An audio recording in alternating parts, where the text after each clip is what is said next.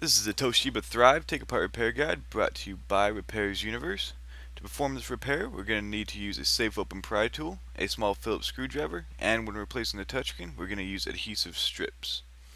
To begin with the repair, we're going to remove the back cover. To do this, we're going to unlock the two sliding tabs, one located on the top here and on the side. Once these are unlocked, we can then use our safe open pry tool and begin prying the back cover away from the rest of the device.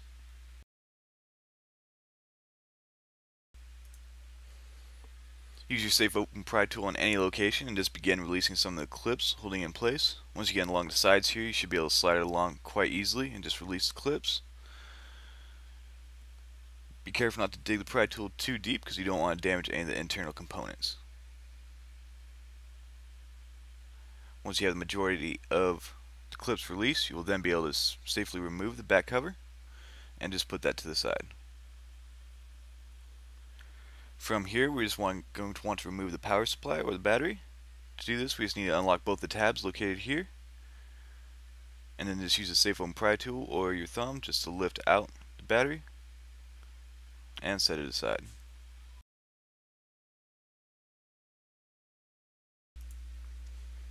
Now we're just going to want to remove the CMOS battery, which is located down here in the bottom right. It's going to be held in place with just a little bit of adhesive, and then it's just going to be a socket connector. Use your safe open pry tool, gently lift that out, make sure you don't damage that connection.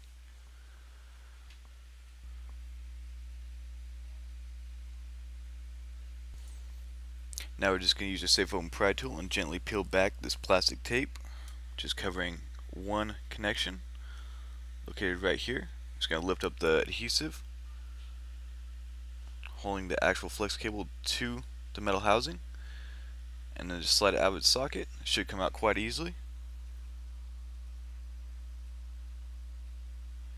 And we're going to remove this other socket connector right up here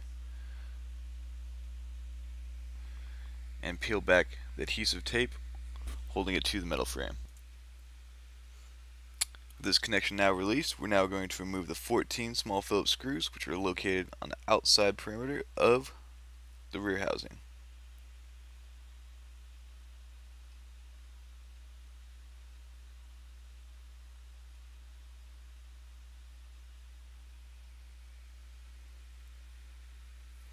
All these screws are the same size so you can just put them together in a pile and not have to worry about them getting mixed up.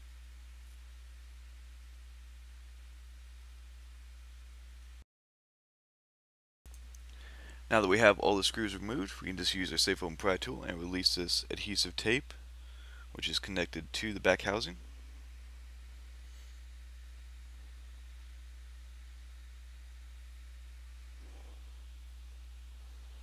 And from here we can start using our pry tool and gently releasing all the clips and the seam right here. So I want to work our way around all four edges. You're not going to want to actually remove the back housing as it's still going to be connected by a flex cable. Just release each clip until you can gently flip it over and release the connection.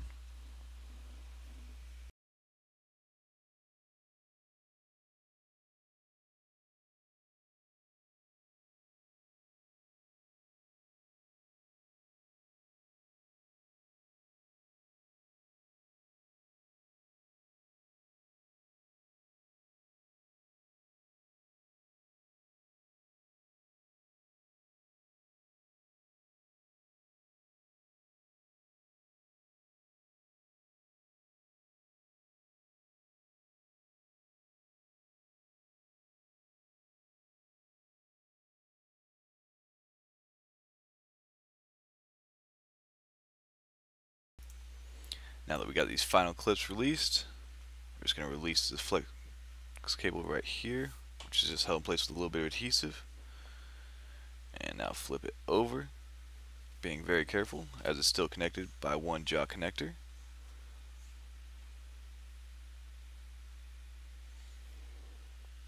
We're just going to lift up on the black tab and slide out the flex cable. And as you can see, the motherboard and many other internal components are located right here on the back side of this back housing. We're just going to put that to the side as we're focused on removing the screens. Now we're going to use our small Phillips screwdriver to remove the seven small Phillips screws located here. Take note that there are more small Phillips screws around this perimeter, but that is specifically for removing the LCD screen from the LCD frame, or this metal frame right here. We're just going to focus on removing the touchscreen, so we're just going to disregard those screws at this time. Once we have all the screws removed, we're going to release this camera connector right here and gently lift up on the LCD frame and pull out the small circuit board for the camera.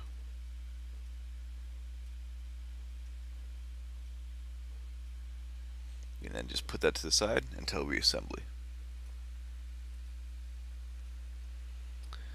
Now that all the screws are removed, we just have some adhesive tape, which is holding the LCD frame onto the front housing with the touchscreen. So we're just going to release all that tape.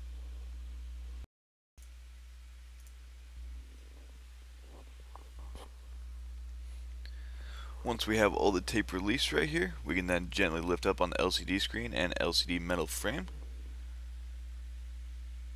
This should pop up the LCD screen, which can then be removed. If you are replacing the LCD screen, you'll just need to remove the small Phillips screws located around the outside edges there and remove it from the frame. Since we're focused on the touchscreen here, since it's cracked, we're just going to remove it from the front housing. To do that, we're going to use a heat gun or a hair dryer and just use a medium setting. Just work our way along the outside edges here, just releasing all the adhesive, which is holding the touchscreen to the front frame. You're going to want to keep constant movement and not stay in one location for too long. The Thrive does have a very thin front housing, so you'll need to be very careful not to overheat it. You just want to heat up that adhesive just a little bit and then use a safe open pry tool to begin releasing it.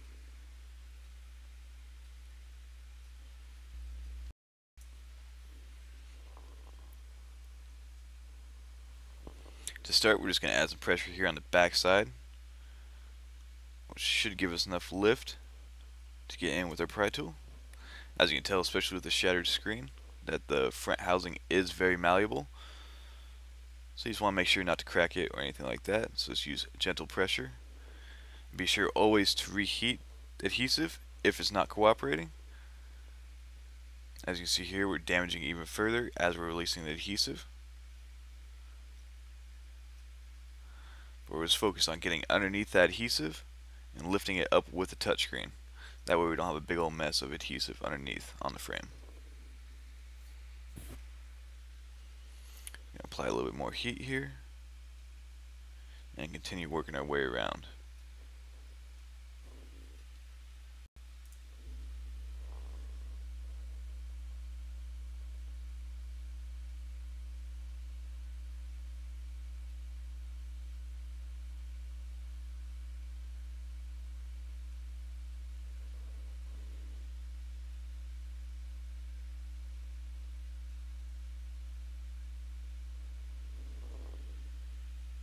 As you can tell, once you get underneath that adhesive, should come up quite easily.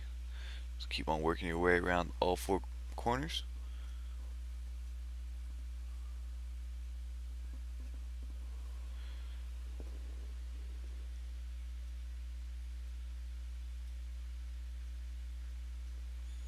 I'm just going to add a little bit more heat in this bottom corner here with this flex cable.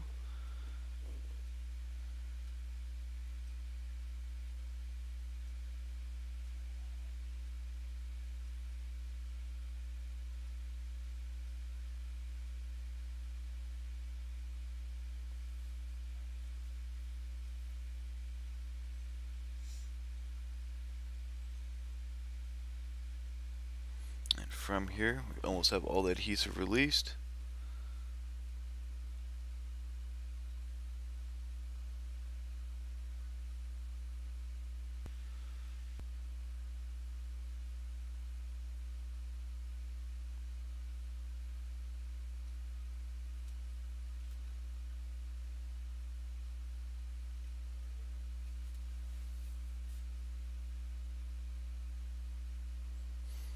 There we have it. Front frame is now removed from your touchscreen, so now you can place the touchscreen digitizer on your Toshiba Thrive. Be sure to check out repairsuniverse.com where you'll find all the replacement screens and tools used in this video. Also be sure to like, comment, and subscribe on this video and check us out on Facebook and Twitter. Thank you for watching.